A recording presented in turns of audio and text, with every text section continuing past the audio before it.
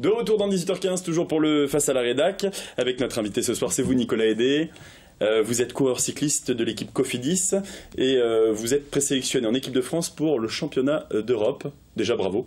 Merci. C'était il y a 15 jours, un peu plus de 15 jours là déjà. Hein. Ça passe vite. Cette saison, on a l'impression tout s'enchaîne pour vous, euh, depuis deux ans d'ailleurs.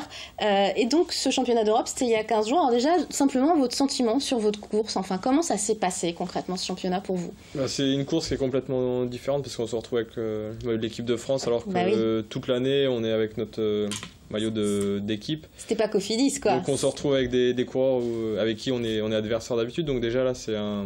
bah, voilà, les, les jours avant qui ont passé euh, avant la course c'est c'était essayer de trouver euh, des marques avec les autres coureurs, même si on se connaît. et de- oui, parce on a- on a que malgré tout, vous vous fréquentez, enfin, euh, au On est gré. adversaires quoi. Donc, Mais voilà, c'est ça. Là, il a fallu créer une, euh, une ambiance équipe de France, euh, tous se regrouper, être solidaires et avec l'objectif de, de réaliser la meilleure course possible. Donc euh, ça, c'est vraiment ce qui s'est passé. On arrivait à faire, euh, on fait deuxième derrière, derrière Peter Sagan, Ouais. donc euh, on est, bah voilà, c'est c'est l'homme.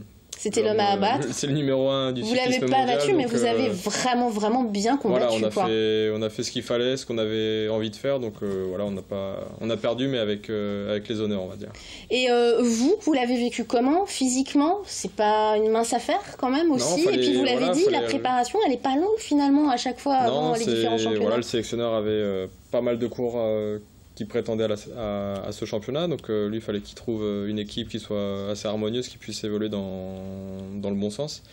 Mais voilà, moi mon rôle c'était vraiment d'épauler les, les, les deux leaders qu'on avait sur, le, sur la course de, Mhm. ou, de, ou vraiment de rouler euh, s'il y avait un, un problème qui se passait dans, la- dans les derniers kilomètres.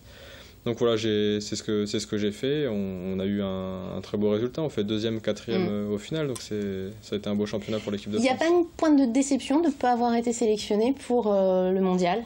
Parce que Ah. c'est ce que vous visiez au départ, l'Europe, c'est chouette. Ouais. Et le monde, ça fait rêver. Ouais, bien sûr, mais cette année le parcours est vraiment tout plat, donc euh, ça con- ça correspond pas du tout à mes, à mes à mes caractéristiques. Moi, je suis plus grimpeur. Là, c'est vraiment un truc pour les sprinteurs. Pourtant, il y a des gens de votre équipe, beaucoup de gens de votre équipe, hein, ouais, qui ouais, qu'il y va. euh, c'est- Non, c'est vraiment les coureurs Ouais. qui sont avec euh, avec Nasser Boigny, donc moi j'en fais pas j'en fais pas partie pour pour l'emmener au sprint. Donc euh, donc pour cette année, il n'y a pas de pas de déception, mais j'espère qu'à l'avenir, euh, il y aura des parcours qui vont qui vont se prêter plus à la au grimpeur. Eh ben justement, vous en parlez. Les, les gens qui ne connaissent pas forcément le cyclisme, dont je faisais partie il y a encore quelques années, ne se rendent pas forcément compte que le cyclisme c'est un sport d'équipe. C'est pas du tout un sport individuel. Et vous, en tant que grimpeur, vous êtes vraiment là pour soutenir tout le peloton et puis euh, et puis seconder, comme vous le disiez, euh, euh, d'autres coureurs. Vous êtes obligé de céder votre place finalement toujours. euh, dans, Ouais, dans votre rôle de grimpeur. euh, C'est pas un peu difficile parfois justement d'être dans cette position-là? Ça dépend des courses. On a, voilà, il y a des, il y a des parcours plats, des parcours montagneux. Des... Dans une saison, il y a de tout. Dans une équipe, il y a tous les, tous les coureurs aussi. Donc, on a forcément un moment, sur une course, on aura notre, notre carte à jouer. Après, euh, Malgré tout, pas euh, évident, chez Cofidis euh, par exemple, et juste pour citer votre équipe, parce que c'est de vous qu'on parle, il y a Nasser Boigny qui est là, c'est la star, il, il- est là, on parle beaucoup beaucoup de lui, les médias parlent de lui. Oui, On est content de vous avoir vous aujourd'hui, hein, le sartois de l'étape sur notre plateau, mais, mais c'est vrai que c'est plus rare finalement. oui, bien sûr. C'est Nasser, c'est le, le coureur phare de, Mm. de, de l'équipe. C'est lui, euh, voilà, qui prend toute la place médiatique et qui est- où, où l'équipe est vraiment articulée euh, autour de lui, de lui. Moi, le premier, quand, quand on se retrouve sur des parcours plats, bah voilà, je suis obligé d'aller euh, rouler. Ça fait partie de mon travail. Donc, euh, donc voilà, on est, on est dans l'obligation de, de donner le meilleur pour l'équipe. Donc, euh, peu importe, peu importe le terrain, mais c'est vrai qu'après, quand, quand on arrive sur les étapes de montagne, euh, là, on a un peu plus euh, moyen de s'exprimer pour, euh, pour les grimpeurs. Vous avez le sens du sacrifice euh, jusqu'au bout parce que quand on est grimpeur, eh bien, euh, c'est difficile. Ce que vous faites, enfin, bien sûr, le vélo, on, on va pas, on va pas le cacher. Enfin, c'est un sport extrêmement dur. Mais alors vous, en plus, vous aimez les difficultés parce qu'on remarque les saisons passées que vous êtes super bon dans des conditions climatiques absolument affreuses. Il neige, il pleut, vous ça va, vous ça va, vous vous sentez bien dans ce genre de conditions climatiques. Je sais pas si on a des images de neige par exemple, mais ça vous va, vous ça vous va ce genre de conditions euh, terribles. Ouais, euh, c'est bizarre parce que je préfère quand même la chaleur.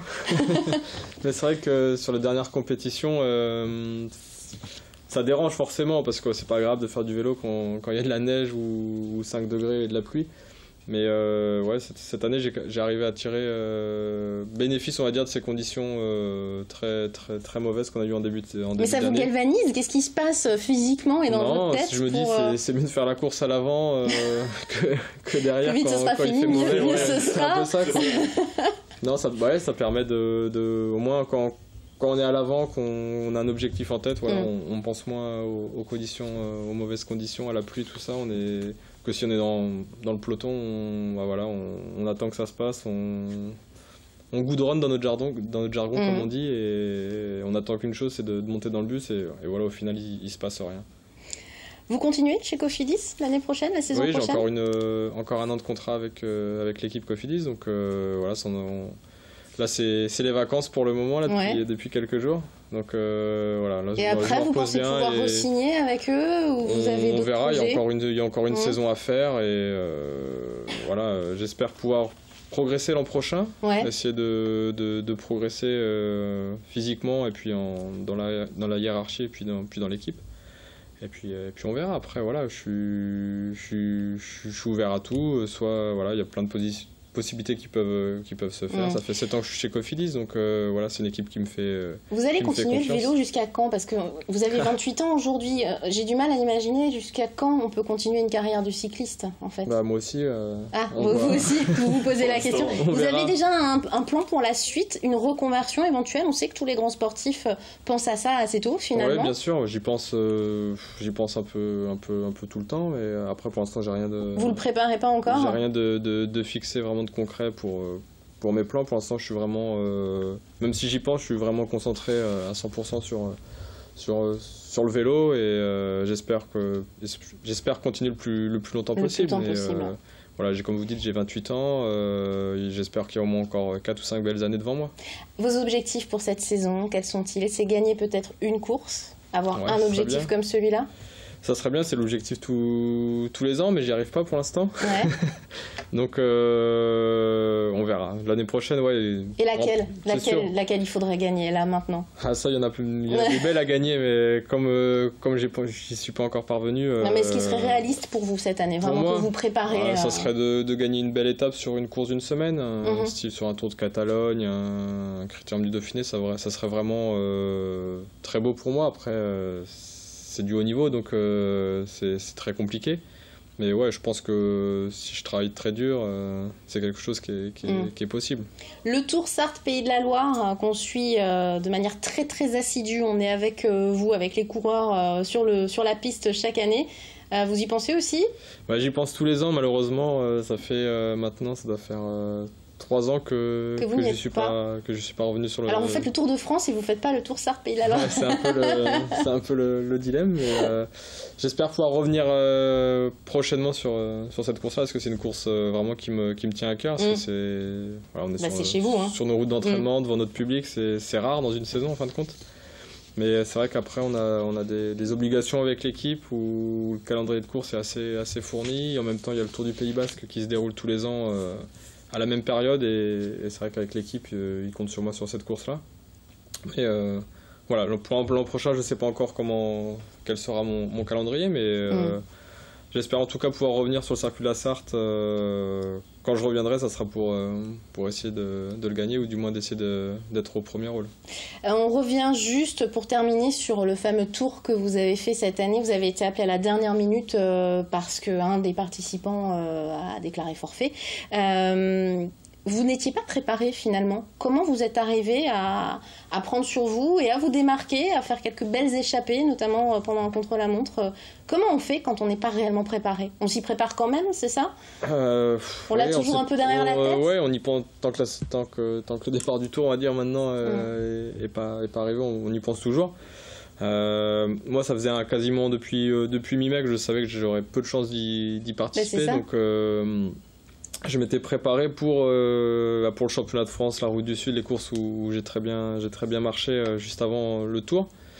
Et, euh, après, je devais préparer le Tour d'Espagne. Donc, euh, c'est vrai que j'ai pas fait de préparation comme, euh, comme certains coureurs peuvent le faire au mois de mai, des stages, des reconnaissances, et, etc. Donc, euh, je suis arrivé sur le Tour le mercredi matin. Je me suis réveillé. Euh, comme pour aller au Tour d'Autriche qui était le qui commence en même temps que le Tour de France, mais c'est pas la même pression quoi. Sensation, quoi. Donc euh, deux jours avant le Tour, je, je pensais pas, ouais, c'était sûr que j'allais pas j'allais pas y, y, participer, donc. Euh, bah voilà, a fallu en deux jours, j'ai dû j'ai dû me mettre dedans assez rapidement. C'est vrai que ça n'a pas été euh, c'est pas c'est pas la meilleure façon de, de, de, de, le faire, mais bon. Voilà, malgré, ça tout, malgré tout, ça s'est quand même bien bien passé. Et, mais j'espère pouvoir le faire euh, l'an prochain ou, ou, dans des prochaines les prochaines années dans des dans des bonnes conditions, on va dire. C'est tout le mal qu'on vous souhaite, Nicolas Aidé. Merci. Merci beaucoup d'être venu parler vélo sur notre plateau. Merci. Merci. Et c'est la fin de ce face à la rédac.